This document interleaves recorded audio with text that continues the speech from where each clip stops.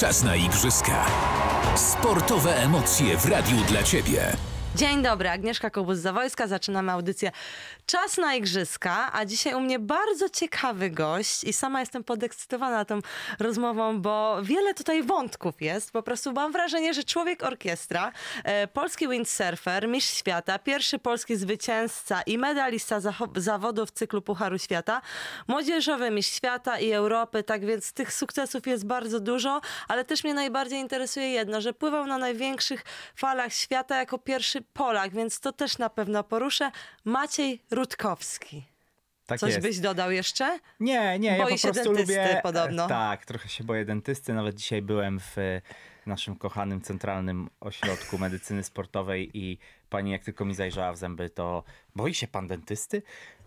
A Ale to pani zaliczyli, bo pielęgniarka. tam Zaliczyli, trzeba mieć zaliczyli. dwie dziury. Znaczy trzeba, lepiej nie mieć żadnej, ale jak masz dwie dziury, to nie zaliczają. A nie, nie, nie, nie, za, zaliczyli, zaliczyli bez problemu. E, a wracając do tej listy osiągnięć, to ja po prostu lubię pływać na desce Mhm. e, w każdej formie i, i może z tego wynika ta orkiestra, że po prostu sobie Ale lubię na takiej nie desce do pływania w basenie, tylko troszkę innej, prawda? troszeczkę delikatnie innej. tak. Troszeczkę innej. Y, No oczywiście audycja jest o igrzyskach, ale mnie y, bardziej bym chciała poznać na początku twoją historię, która uważam, że jest bardzo ciekawa i chyba też trochę taki ten sport dla wielu słuchaczy i ludzi może być twój dosyć egzotyczny, prawda? Ludzie nie do końca wiedzą, z czym to się je. E, A ja na twojej y, stronie internetowej wyczytałam coś takiego. Od spania w namiotach ze sprzętem, bo nie było go stać na hotel do wygrania kilku imprez. Widział prawie wszystko i nie boi się o tym mówić. Mógłbyś to skomentować delikatnie? No, myślę, że to pije do tego, że e, na samym początku, mając kilkanaście czy, czy, czy małe dwadzieścia e, lat, musiałem jakoś bardzo się wyginać, żeby złożyć budżet na, na zawodowy tour. To jest, no, nie wiem, no, od pięciu do ośmiu imprez po całym świecie. E, sport zawodowy ma to do siebie, że nie jest generalnie w żaden sposób dotowany przez państwo, nie ma takich struktur klubowo-związkowych i tak dalej, więc jak się rzucasz, żeby to zrobić, to, e, no to musisz po prostu liczyć się z tym, że trzeba się wykazać kreatywnością.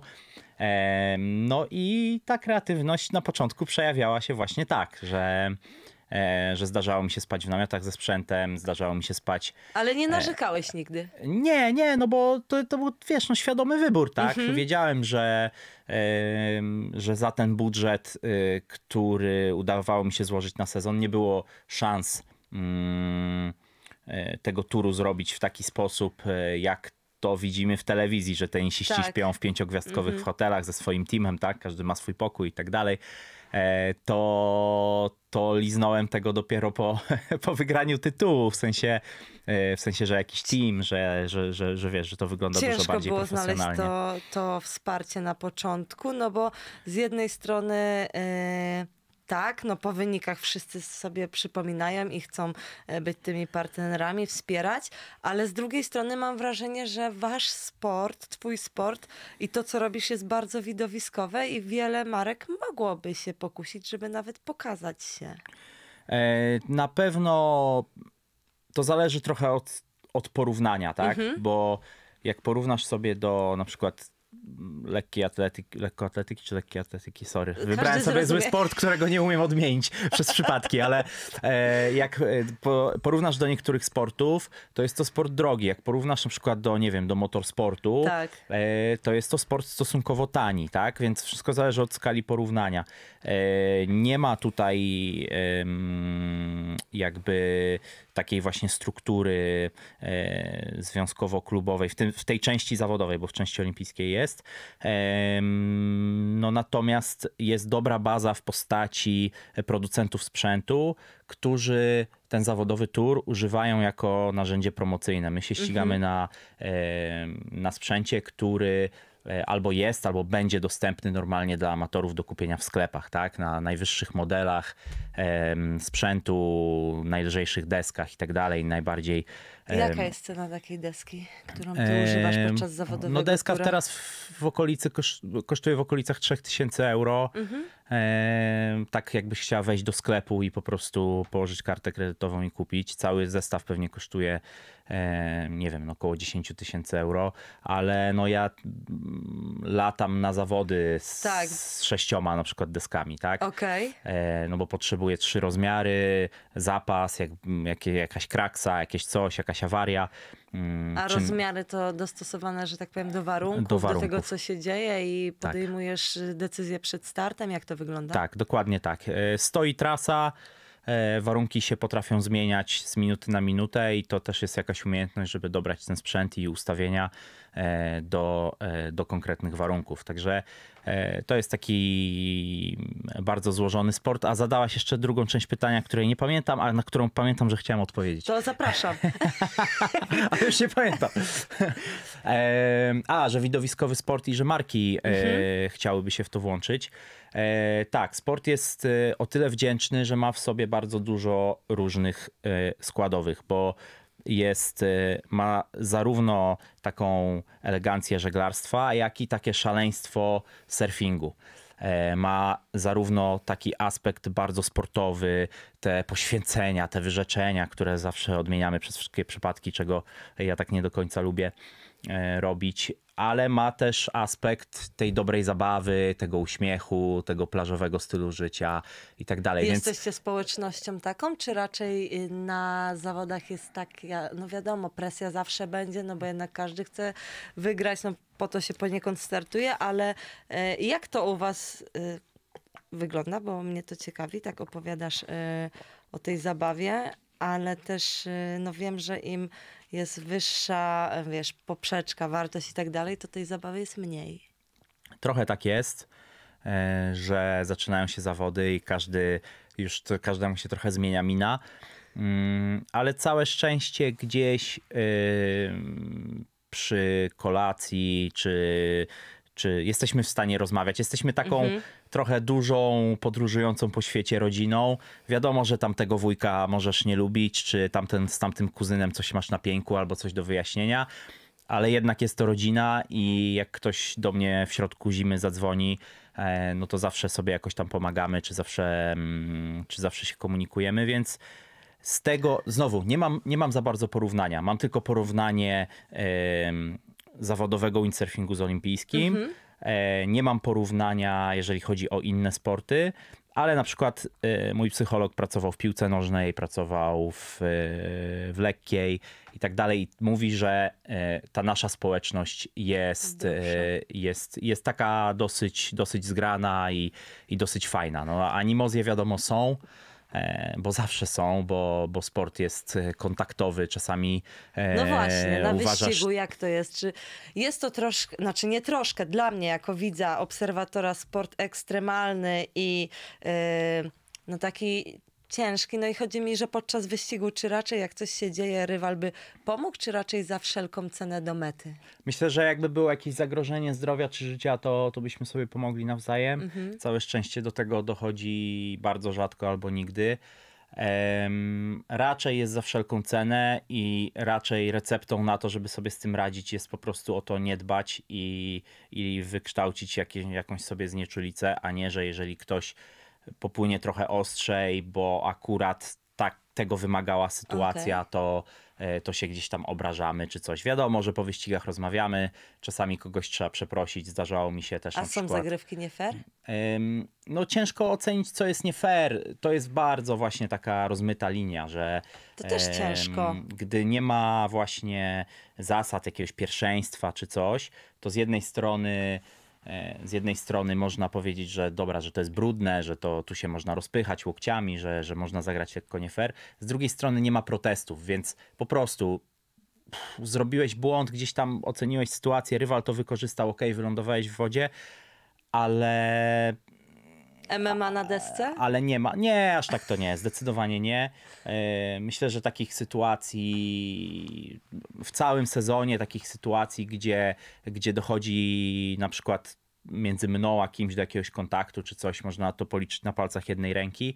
E, wiadomo, że im trochę niżej w stawce mm, jest trochę ostrzej, no bo, bo jednak jedziemy systemem pucharowym, jedzie ośmiu, czterech przechodzi dalej. E, więc jak masz troszeczkę więcej tej prędkości, na przykład na pierwszej prostej i jesteś pierwsza, druga, no to, to możesz sobie gdzieś tam odjechać i spokojnie, e, spokojnie to kontrolować. A jak walczysz o to czwarte miejsce na śmierć i życie, to, to tam się dzieją ostre rzeczy. No i potem w ośmioosobowych finałach wiadomo, że też już e, hamulcy, hamulców nie ma.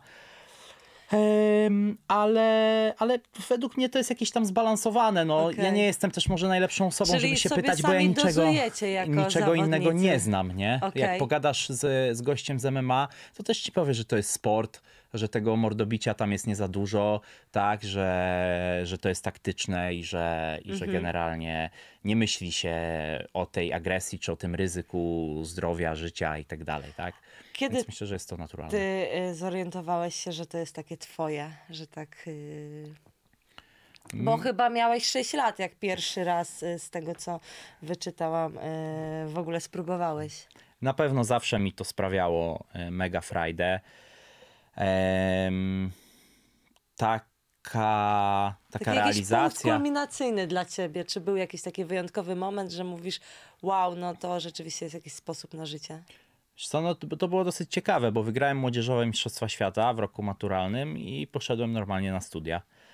E, I, i, i, i bo w Polsce nie było takiej ścieżki. Takie coś w ogóle nie istniało, nikt tego wcześniej nie robił, więc, e, więc poszedłem normalnie na studia, no bo taka się wydawała jakby normalna rzecz, tak, że, że się idzie na studia, a potem zobaczymy.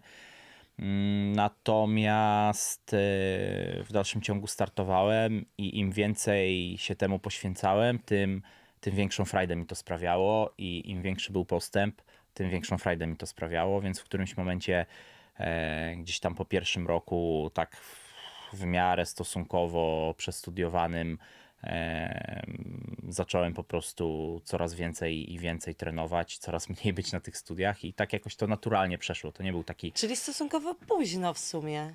I- Jak u was wygląda wiek?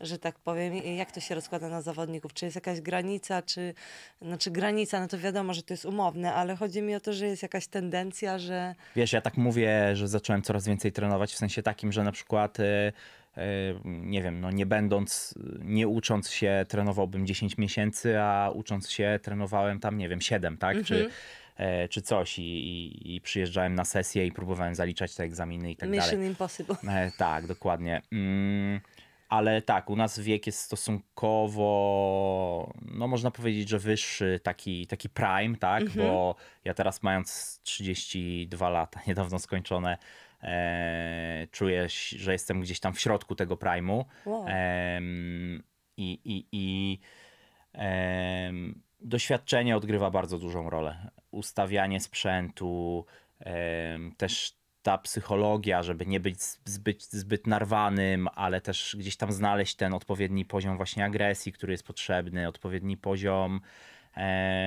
ryzyka, tak? Ocena tego ryzyka w, wiesz, w ułamkach sekund. Y, tego nie da się tak jakby nauczyć Dla ciebie też nie to był robiąc- proces jakiś? nie robiąc tak, to był, to był długi proces. Czyli na początku byłeś trochę narwany, jak mówisz? Albo byłem narwany, albo byłem zbyt spokojny i tak Okej. wiesz, gdzieś tam na tym spektrum się tak bujałem e, i, i musiałem znaleźć swój, e, swój środek. I no i na pewno też e, swój pierwszy tytuł wygrałem w wieku 30 lat. To na pewno też jest konsekwencja tego, że właśnie e, normalnie chodziłem do liceum, tak, wygrałem młodzieżowe mistrzostwa świata, ale ale nie byłem, jak miałem 16 czy 15 lat, nie było powiedziane, że Maciek będzie zawodowym windsurferem. Okej. E, tylko po prostu, po prostu byłem dobry, zacząłem wcześnie, e, byłem niezły, byłem bardzo zajarany, bardzo jakby, jak już miałem okazję, e, to się śmia, śmialiśmy, że to jest takie właśnie polskie zajaranie, że, że przez e, na przykład dwa miesiące w zimie się nie pływa, to potem e, tych ludzi, którzy pływają cały rok, e, po prostu chcesz dogonić, tak? I chcesz tych, tych Francuzów, Hiszpanów, Włochów, którzy mają gdzieś tam swoje ciepłe wyspy, którzy, którym jest zdecydowanie łatwiej. I, i, i, I dla nich to jest może trochę bardziej naturalne. E, U nas też no, ta, to tak dziwnie brzmi w 2023 roku, ale w 2009-2010 to jeszcze tak ekonomiczna ta sytuacja nie była taka, mm, że okay, rzucę wszystko na jedną kartę, a potem, nie wiem, najwyżej jako matą bez, bez studiów, tak, z maturą coś wymyślę. To tak, to, to się nie wydawało realne. To Kiedy się wydawało... zacząłeś zarabiać z tego? E, gdzieś pewnie w 2016, 17, czyli. Czyli po tych pierwszych sukcesach, takich. Yy, gdzieś tam, jak znaczących. zacząłem, jak zacząłem regularnie być gdzieś tam w 15 światowego rankingu, Mhm. regularnie e, co roku. Kilka Czyli nie młodzieżowe mistrzostwo świata, to jeszcze Nie, było za młodzieżowe mało. mistrzostwo świata to było tak, żeby, e, żeby gdzieś tam pokryć koszty. Okej. Miałem duże, duże szczęście, bo na, e, na, na plecach tego młodzieżowego mistrzostwa świata udało się e, podpisać kontrakt z pewnym napojem energetycznym.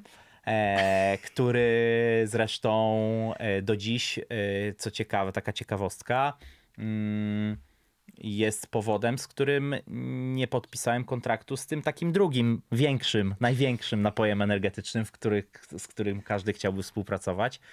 E, ale mając gdzieś tam właśnie 18 lat, czy 19 lat, jak przychodzi do ciebie e, sponsor z fajnym kontraktem, fajnym, no fajnym jak te tamte czasy kontraktem, e, to nie odmawiasz. I podpisałem ten kontrakt.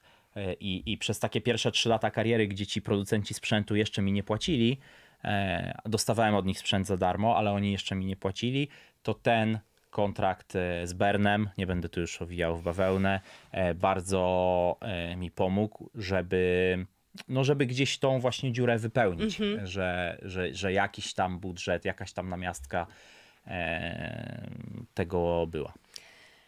No dobrze, no to e, po, powiedzieliśmy, choć e, czuję, że ta audycja to za mało o tym e, zawodowym, o tej zawodowej sporcie, o tym, Jezus, o zawodowej odmianie, no bo też chciałabym porozmawiać o, o olimpijskiej, jak ty to widzisz i tak dalej, ale niestety po przerwie. Agnieszka Kobus-Zawojska, e, druga część audycji Czas na Igrzyska, a moim gościem nadal jest Maciej Rutkowski. Dzięki, że nie odpłynęłeś. e, no i teraz chciałabym porozmawiać trochę o tej e, olimpijskiej odmianie, ponieważ wyczytałam, że troszkę COVID, ta pandemia negatywnie odbierana, no bo co by tu nie mówić, spowodował, że e, zac- y, zacząłeś w ogóle myśleć o tym, żeby walczyć o igrzyska, ponieważ tych startów było mało podczas pandemii dla ciebie, tak? I chcę pierwsze pytanie zadać takie. Jaka jest szansa, że pojedziesz na te igrzyska? E, To zacznijmy Tak z może od, od tego trochę. COVID-u. E, tak, Ty, no dwa... Jak wtedy? Dwa, moje dwa pytania. Dobra. W 2019 e, zmieniła się klasa olimpijska windsurfingowa, e, żeby zrozumieć jakby z czym to się je. Tak, Zero Six. Tak, z klasy RSX na klasę IQ Foil. Żeby zrozumieć z czym to się je, to trzeba... Pierwszy raz będzie w Paryżu ta klasa. Tak, a konkretniej nawet w Marsylii, ale tak, na Igrzyskach we Francji. Mm, Jest tak, że windsurfing administracyjnie jest pod żeglarstwem. Mm, Jest traktowany jako jedna z klas żeglarskich, podobnie zresztą jak kite. E, I tak jakby jest taka tradycja w żeglarstwie, że ma pływać zawodnik, a nie sprzęt. W związku z tym jest taki sam sprzęt dla wszystkich.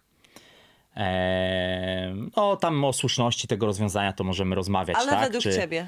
E, Według mnie to jest tak, jakby wszyscy mieli skakać albo jeździć na tych samych nartach, albo grać w takich samych butach. No to, to nie do końca jest No jakby komfort istota. zawodnika. Tak, i, i, i kreuje się na przykład y, idealne ciała wtedy, tak, że, Mhm. że pod ten sprzęt pasuje taki typ, pod ten sprzęt pasuje na przykład taka technika. E, Ja jestem zawodnikiem na przykład, który lubi bardzo dużo mocy w sprzęcie, ten sprzęt tak dużo mocy nie ma. No nieważne, to są takie, takie rzeczy, Czyli ale... niby ujednolicamy, ale jak się to rozłoży na czynniki pierwsze, to różnie. Tak, tak. Do tego jeszcze, e, jak jesteś monopolistą, to żeby sprzedać jak najwięcej sprzętu, to im ten sprzęt jest gorszy i bardziej różny od siebie, tym sprzedajesz więcej.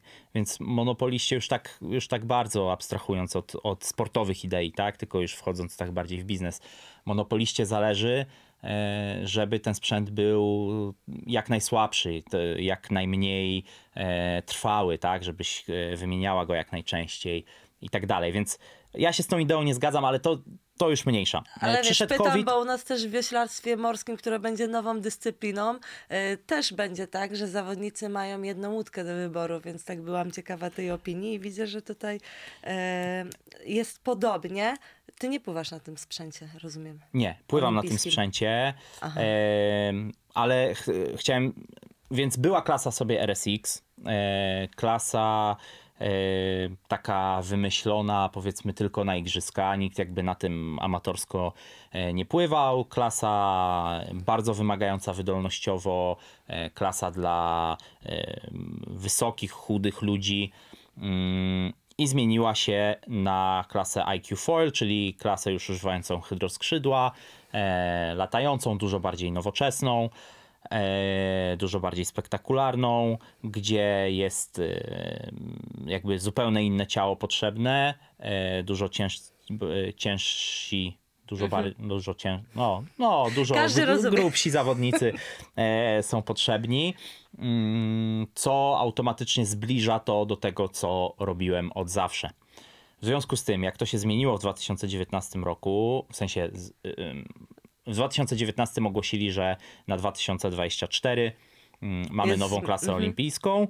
E, no ja tam z, z, z, chłopakami z kadry, z trenerami, czy nawet z niektórymi osobami ze związku oczywiście się znałem i, i mamy bardzo dobre relacje. Mówiłam, więc, próbuj. E, tak, więc, e, więc zadzwonili, co tam, jak tam, czy, czy, czy chciałbyś. Też ja jakby ten, tego ten typ sprzętu miałem już e, jakby dosyć dobrze zanalizowany, dobrze zrozumiałem, rozumiałem wszystko, więc też jakby byłem dosyć dobrą osobą, żeby, żeby wciągnąć, żeby trochę e, żeby trochę ten program jakby ruszyć e, z kopyta. A dla mnie było super, bo w covid zawodowy tour się bardzo skurczył. Wiemy, jak wyglądało wydawanie pieniędzy w pandemii. No a to jest, to jest tour oparty tylko na prywatnych pieniądzach, na sponsorach mhm. i tak mhm. dalej, więc, e, e, więc w pandemii bardzo to się skurczyło, więc nagle miałem e, co robić, wszystko się złożyło super i zostałem wrzucony do zupełnie nowego świadka, tak? Świadka, gdzie nie są teamy sponsorów, tylko są kraje, nie jesteś sam sobie sterem tam tylko podlegasz ten, tylko, tylko tak, tylko jest jakiś tam odgórny plan i tak dalej. Zupełnie inny świat, mega nowe doświadczenie. Nadal teraz po ponad y, trzech latach y, w tych strukturach, nadal niektóre rzeczy są dla mnie Ale teraz dla jesteś, że tak powiem, w tym cyklu związkowym, czy jednak jesteś sam tak, sobie? nie, nie, jestem, y, jestem w kadrze. E, myślę, że muszę z tego miejsca podziękować Polskiemu Związkowi Żeglarskiemu za jakby za to wsparcie i za to, że że nie było tam wóz albo przewóz, albo robisz po naszemu i tylko tak jak mhm. my, albo, albo nie w ogóle, tak? Tylko, tylko mm, wszyscy trenerzy i, dyrektorzy i tak dalej wykazali e, dużą dozę jakby, wiesz... Czyli mogłeś połączyć trochę te dwa światy. Tak, mogłem połączyć te dwa światy. E, w tym roku szczególnie było ciężko, bo były jakieś tam konflikty terminów i tak dalej. E, natomiast e, teraz w lutym mamy Mistrzostwa Świata, które bardzo dużo powiedzą o tym prawdopodobnie, kto na te igrzyska pojedzie, kto w ogóle ma szansę. Jedzie jeden z kraju, kolejna jakby to określić, e, niezbyt chyba sportowa zasada. Ale dlaczego? Bo też słuchałam jednej twojej wypowiedzi i powiedziałeś, że jak jedna osoba z kraju, to z drugiej strony nie startują najlepsi. I okej, okay, z jednej strony się zgadzam. Nie, nie, nie to, że nie startują najlepsi, tak tylko poziom nie jest. Tak, no poziom tak nie jak... jest jakby, no, jeżeli igrzyska, jeżeli zgadzamy się, że igrzyska masz... są największą czy, czy najwyższym poziomem światowego sportu, no to nie rozumiem dlaczego na, e, na Mistrzostwach Świata jest 150 najlepszych osób z mhm. całego świata, a na igrzyskach na przykład jest jeden Francuz, gdzie Francuzów w dziesiątce potrafi być Okej. czterech. Tak? To też jest Mm, takie sprzeczne, bo w niektórych sportach właśnie tak jest. U nas też tak było, że jedna osoba z kraju, nawet jakby były trzy najlepsze w Polsce, to nie pojadą. Z drugiej strony patrzymy na lekką atletykę, gdzie mogą stać kilka osób na podium z jednego kraju. Tak, masz minima i, i ten. No i komuś się to może nie podobać, że, że na 100 metrów mamy tam w finale, nie wiem, pięciu Jamajczyków, tak? Czy, tak. czy coś. No ale to są najlepsi kolesie na świecie, więc jeżeli, jeżeli uznajemy, że igrzyska to jest święto i, i najwyższy sportowy poziom, no to, to zróbmy tak, żeby był najlepszy sportowy poziom. Jeżeli uznajemy, że to jest, nie wiem, impreza e, jakby, no bo, no bo są takie idee, że, że, że się integrujemy, że, że, za, że żeby była jak największa ta obecność różnych krajów, tak, i tak dalej. Na przykład w żeglarstwie e, niektóre związki, które nie są krajami, na przykład wyspy jakieś e, z Karaibów i tak dalej, mają, mogą startować, możesz startować jako reprezentantka na przykład St. Lucie, czy, czy no, no nieważne, no. Także e, tutaj są też jakieś sprzeczności. Czyli musisz być najlepszy w Polsce, żeby pojechać. Tak, musisz być Konkurencja najlepszy. w e, Polsce jest chyba spora. Konkurencja w Polsce jest, e, jest bardzo dobra. e, I chłopaki trenują ciężko, robią tylko to, robią to dobrze. I tyle, no jest to kolejne wyzwanie, tak? I kolejny jakiś taki, A wiesz... na tych mistrzostwach świata robisz kwalifikacje dla kraju, rozumiem? I później jeszcze masz kwalifikacje wewnątrz y, kraju? Jak to wygląda? Nie, kwalifikacje dla kraju już wywalczyliśmy na poprzednich mistrzostwach Czyli świata. Teraz kto? E, tam z, oczywiście dla tych krajów, które jeszcze nie, walc- nie wywalczyły kwalifikacji, jakieś tam miejsca są, ale teraz tak naprawdę to jest ta, wiesz, bratobójcza. Czyli w lutym będzie decyzja, kto z Polski. Nie, nie, nie, nie. W tym roku e, ta decyzja zapadnie zdecydowanie później. E, są jeszcze tam jakieś regaty na wiosnę. Okej, czyli to jest sprawdzian dla was, taki pierwszy ważny. Tak, pomiędzy sobą. Tak, tak. Ja, ja to traktuję jako takie swoje, e, jak, jako taki swój sprawdzian Mhm. przede wszystkim, bo są to zawody, do których mogę się dobrze przygotować przez miesiąc, często żonglując tymi terminarzami. Nie byłem w stanie nawet do, w zeszłym roku, e, w zeszłym roku na Mistrzostwa Świata klasy olimpijskiej przyjechałem po dwóch przystankach zawodowego turu, takich najcięższych fizycznie.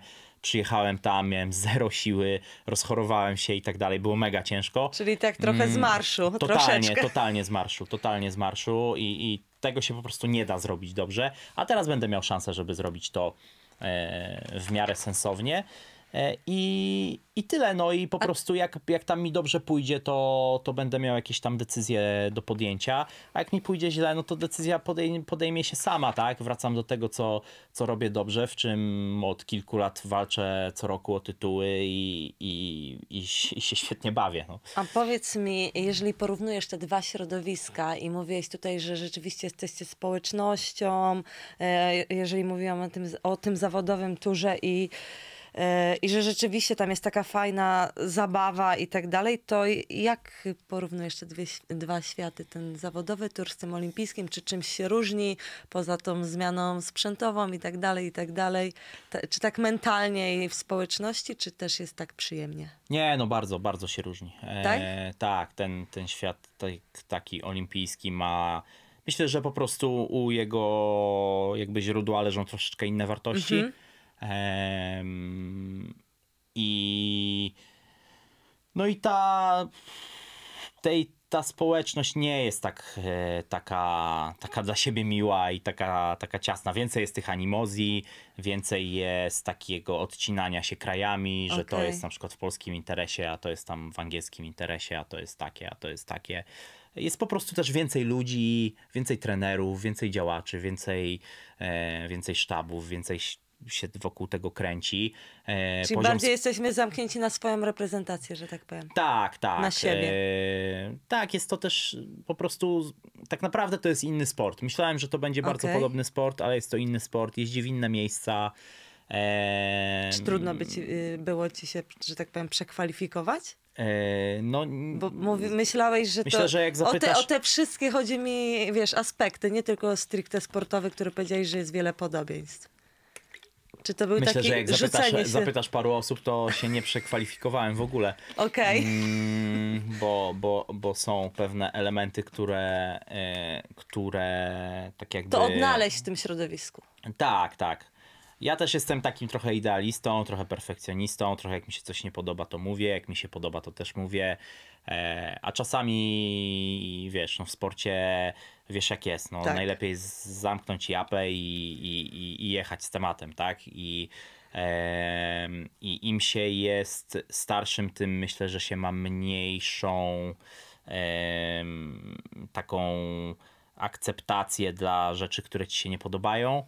Em, Częściej zadajesz sobie pytania, w sumie to po co, bo przecież już tam coś zrobiłam, tak, coś, osiągnęło, coś, coś osiągnąłem, coś tam ten.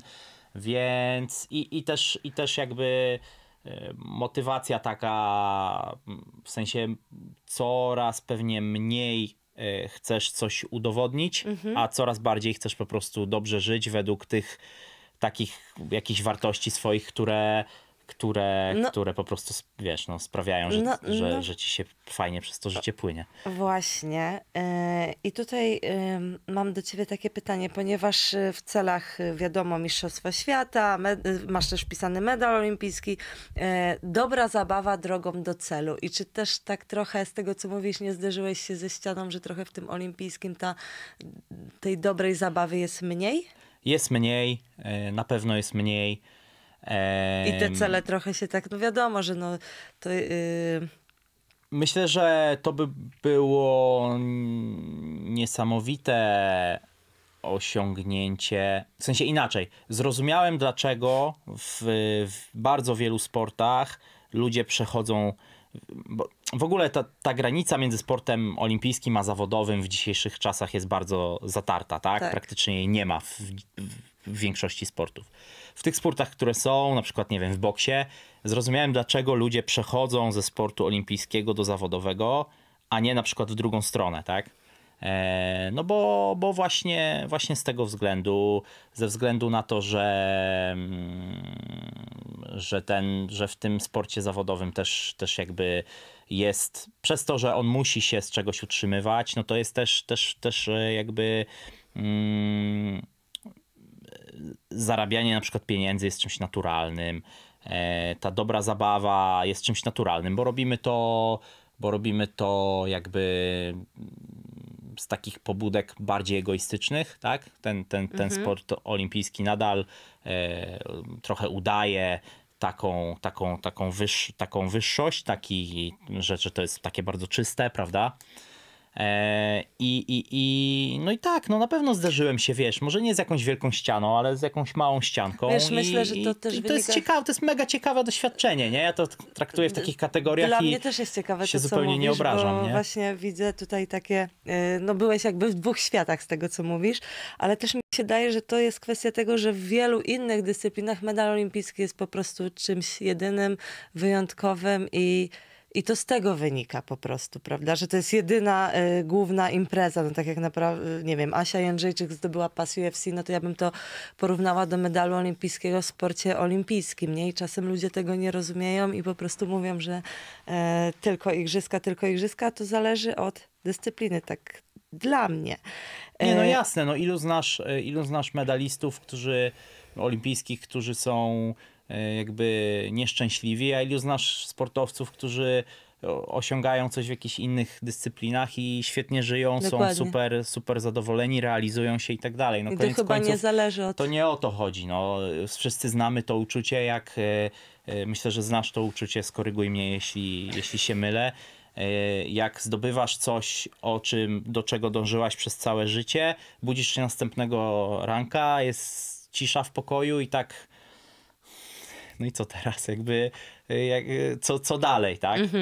E, więc no, warto, mieć, warto mieć jakąś wizję swojego życia, e, samego życia, tak? Ten proces jest dla mnie mega istotny i, i po zdobyciu czegoś, o czym zawsze marzyłem, stał się jeszcze istotniejszy, bo, bo żyjesz tym procesem, a nie, a, a, a nie dla tych osiągnięć. A Dlatego, długo wiesz, pracowałeś nad tym, czy od razu jakoś to miałeś, y, że tak powiem, no bo ja na przykład troszkę się zatraciłam w tym zdobywaniu celu, Jasne, że tak. zapomniałam o tym, że no tak jak mówisz, że fajne rzeczy robię, bo byłam tak sfokusowana na tym, żeby zdobyć to.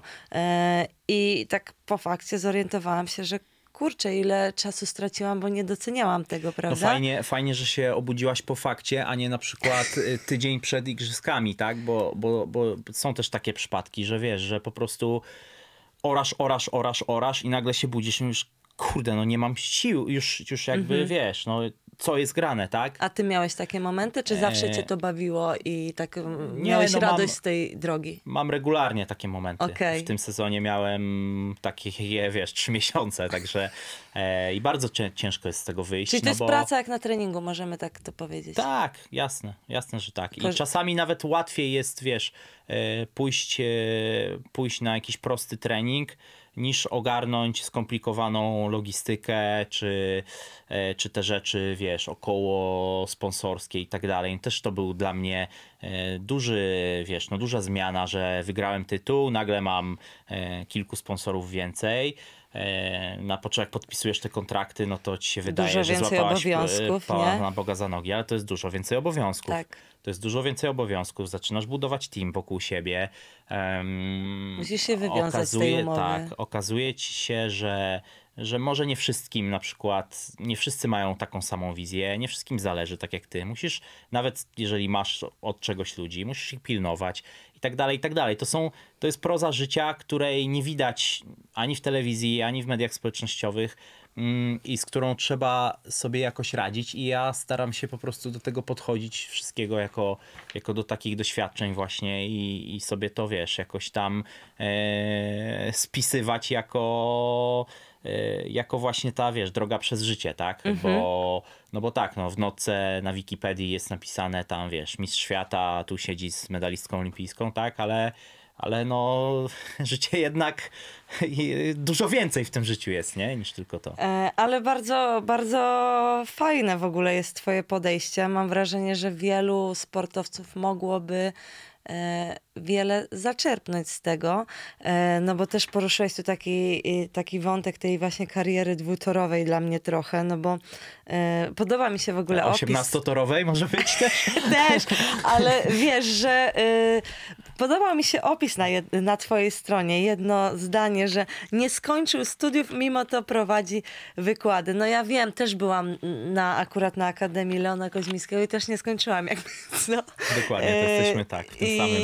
E, I wiem, jak trudno jest, a z drugiej strony masz jakąś wizję tego, żeby nie skupiać się tylko na tu i teraz, rozumiem.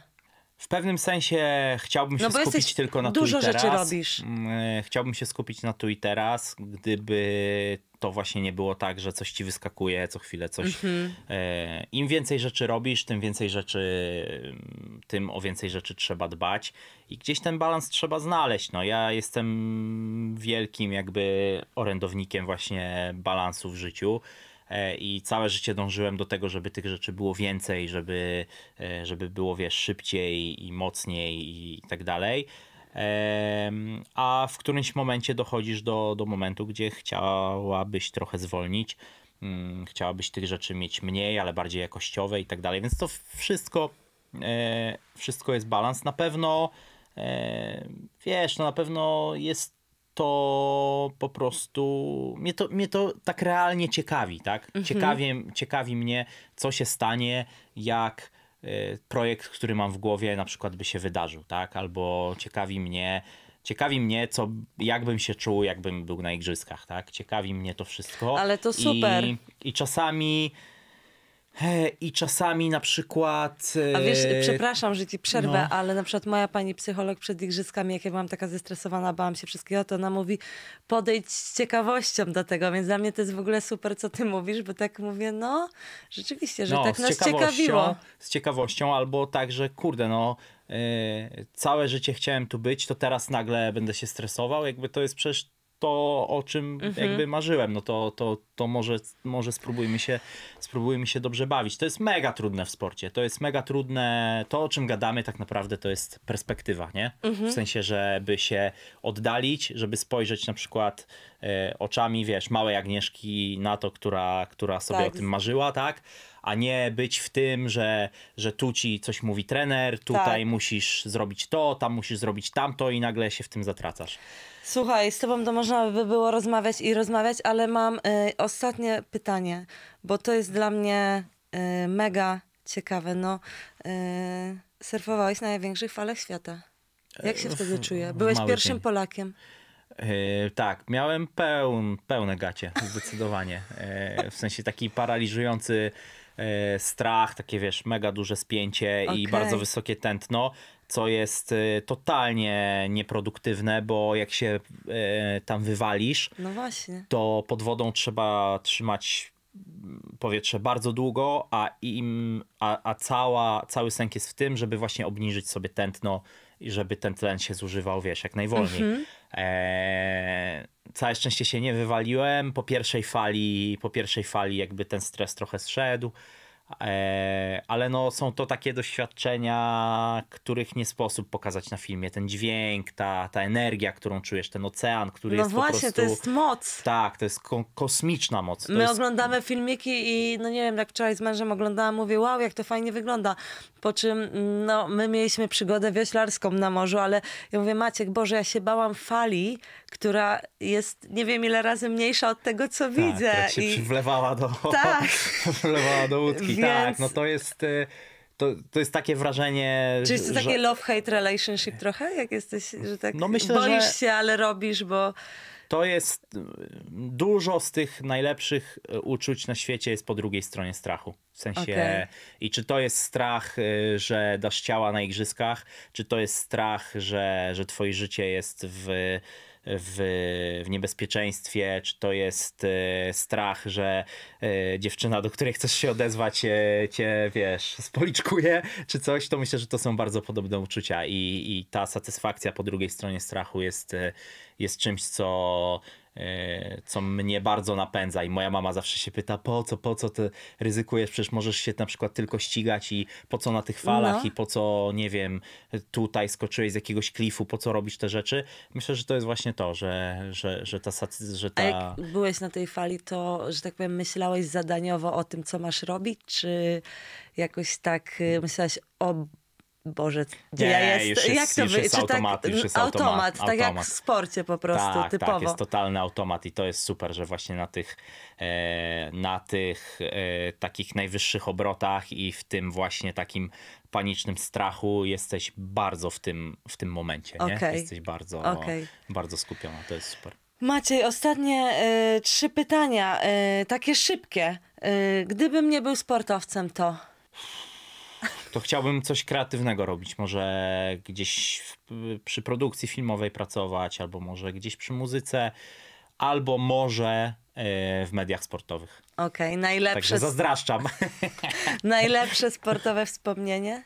Dużo. Dużo. Dużo, dużo. Y, Fale Jaws, o których wspomniałaś. y, Tak myślałam, że to powiesz. Zdobycie tytułu w takich kosmicznie dziwnych okolicznościach, kiedy wydawało się, że wszystko już jest przegrane.